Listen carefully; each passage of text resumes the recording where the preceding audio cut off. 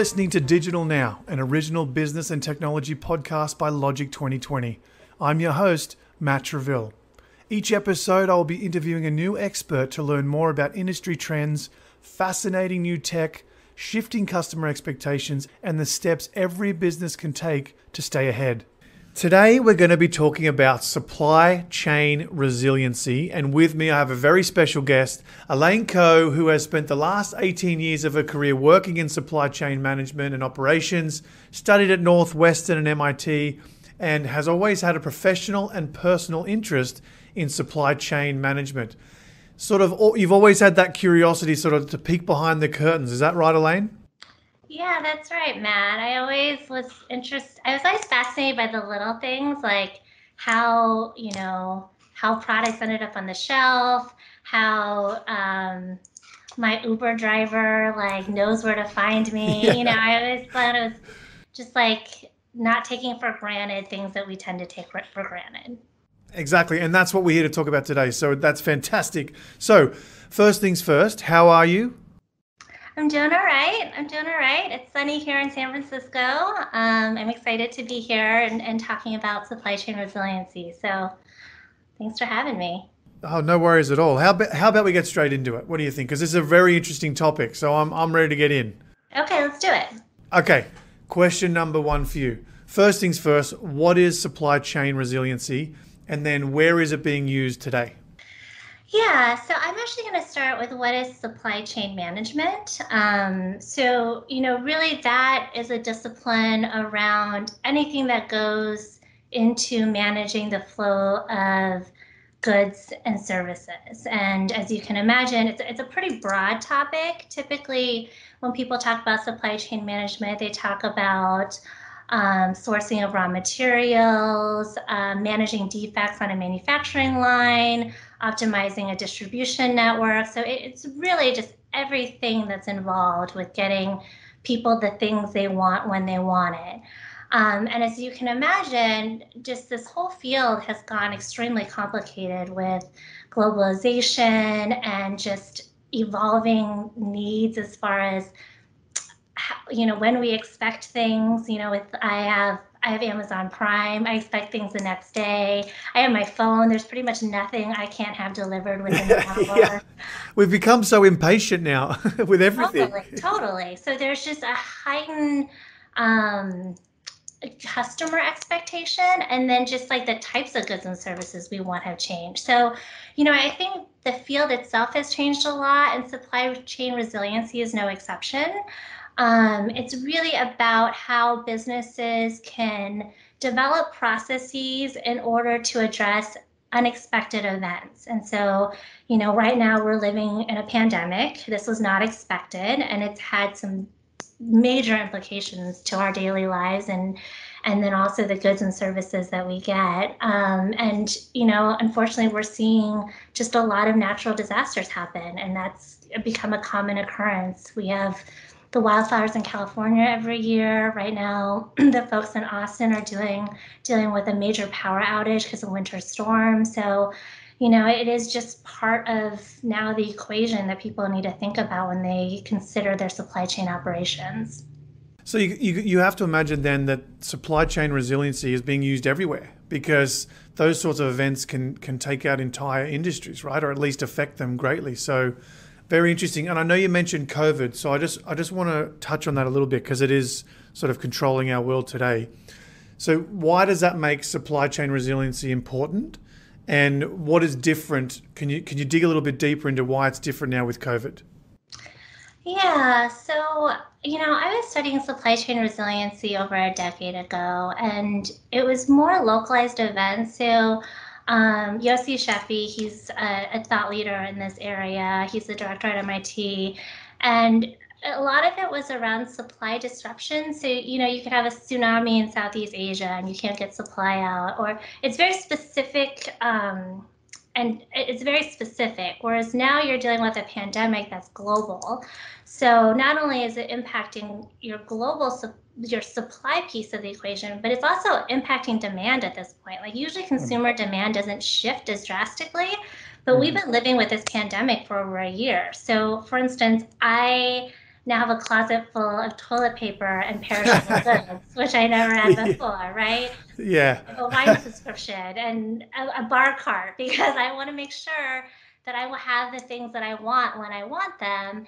And businesses are having to struggle with that as well. So, you know, not only there's so much uncertainty in the supply piece of the equation, but then also like what people want and and that changing dynamic there. So it, it's just a, it's a very unique and interesting um, situation now where a lot of supply chain principles are are dependent on being able to predict both the supply and the demand side and right now it's it's it's very unpredictable so I think the toilet paper example is a perfect one because I think it affected most people on the planet, it seems like, at one point during this pandemic. So uh, very interesting here that that's, uh, that's part of it. So, um, so what does it mean to be supply chain resilient then?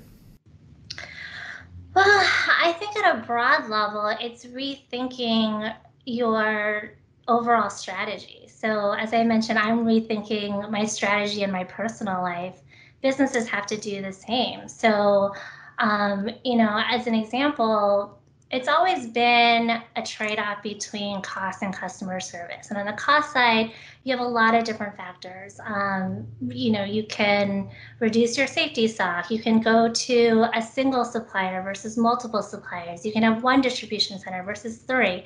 And now it's like, although that can keep your costs down, there is just a lot of vulnerability if something unexpected happens. So it's really rethinking, you know, what what decisions can you make that balance your short-term gain with like managing long-term risks. Mm-hmm.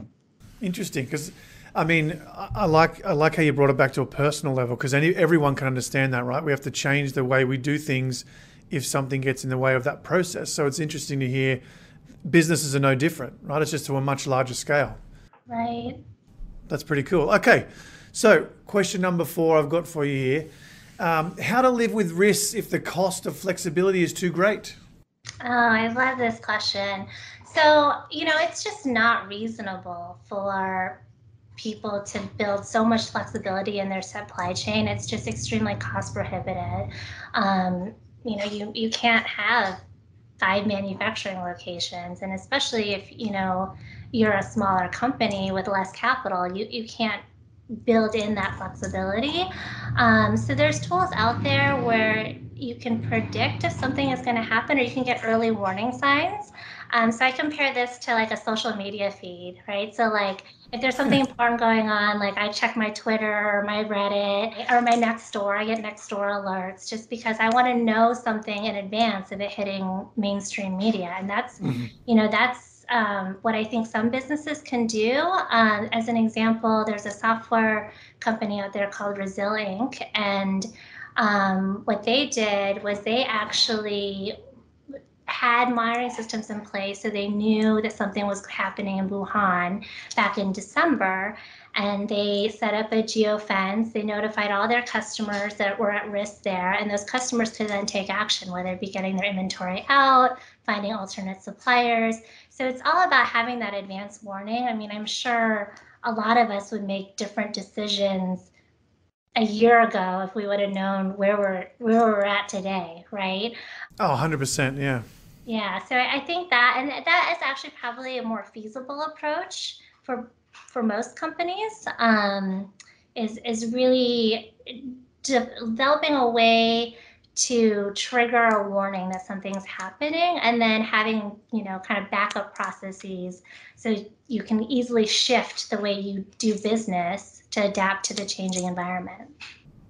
So that flexibility, does that um, you know I guess what are the major trends around that now, right? As people are, are, trying to become more flexible, are we seeing trends in the industry and with companies? Absolutely, and it's a pretty cool time. Um, you know, I know it's really chaotic and it can be very stressful, but a lot of companies are um, doing some really cool things. Um, AI has always been a hot topic, but I think this has given an opportunity for businesses to focus more on their AI. So not only their predictive but prescriptive analytics, like predicting what's going to happen and then predicting strategies you can put in place and how effective those strategies are going to be. Um, digital transformation, so building out your e commerce platform. We have curbside pickup here now for stores so people don't go in and, and risk the spread of COVID. Um, some businesses have even taken it a step further where they're being really innovative about recreating that brick and mortar experience. Um, as an example, with IKEA, you can upload a picture of your living room and you can put in the furniture pieces so you can see what it looks like in real time. Yeah. Um, which is is cool. Like I actually personally hate going to IKEA, so I would much rather do that. Um, so Good time to mention our sponsor, IKEA Furniture. we might have to think of a new sponsor. So, well, no, should we do? I mean, th- what they're doing is great, and no, I know. it's best for it's best for both. You know, it's best for the consumer and um, and the company. Um, another example is Sephora. So they, you know, what I love about Sephora is you can go in there, you can test their products. I can see what shade of lipstick looks best on me. And now, since I don't have that experience, they have what they call a virtual artist. So I can upload a picture of myself and I can actually try on five different shades of red lipstick instead of wow. store. So, you know, I think that's something that's really cool that's happening. Um, and I think the pandemic has certainly propelled businesses to move in these directions. Um, another big focus area is around the last mile. So you'll hear this a lot. So the last mile is really the last leg between a hub and when the consumer gets the product or service. And it's it's hard to really um, make sure that's a seamless experience, but it's so important to the overall customer satisfaction. Um, and it, it's like it's like what the the customer sees the most. It's at that end they get what they want. Ah. Yeah, and so and I think with COVID, I mean, I, I think that's a great example of really fixing the last mile, right? So we heard all these doses got to the states but then there's just like it just wasn't nailed down right getting it you know actually into the patient's arm so it's how do you how do you make sure that experience is seamless and enjoyable in order to create a stickiness with your customer base so the last mile is all about the the engagement with the customer in this like in that example right so that's very interesting. So, because it's seen by the customer, that's what they deem as the most important. Is that what you're saying? Yeah, yeah. It's like what you really remember. It's that last that mm. last piece of it. If you tell me I'm going to get something on Tuesday and I don't get it t- till Thursday, and it you know it ends up in a broken box and um, I have an unfriendly app experience, and that's that's what I'm going to remember. It doesn't matter really, you know, yeah, that's so true because like we are we've got such high expectations now, and if it's a day late, there's something wrong with the world. You know, people lose their minds now, right? Because we want it the same day or the next day. So um, that's very interesting. It makes a lot of sense if you think about it. Yeah. Yes. Um, so okay, so talk to me about reshoring. Oh, yeah. So reshoring is about um, bringing things domestically. And so you have seen a trend in the market around this. It's, you know, the idea is companies who have moved to offshore production now are seeing a lot of the risks that are in there. I mean, you could have trade wars, you could have increases in tariffs, and it just becomes a lot less predictable and controllable for businesses. And so, in some instances, in order to have more control, it might make sense for you to move operations domestically. Um, you know, it is very complicated though, because you have to make sure you have the right labor force. You have to make sure that you're you're doing kind of the right thing holistically. But um, you know, making that decision may make the most sense, even though it could be an increase in cost, but long term it's less risky and, and, and more stable for your business.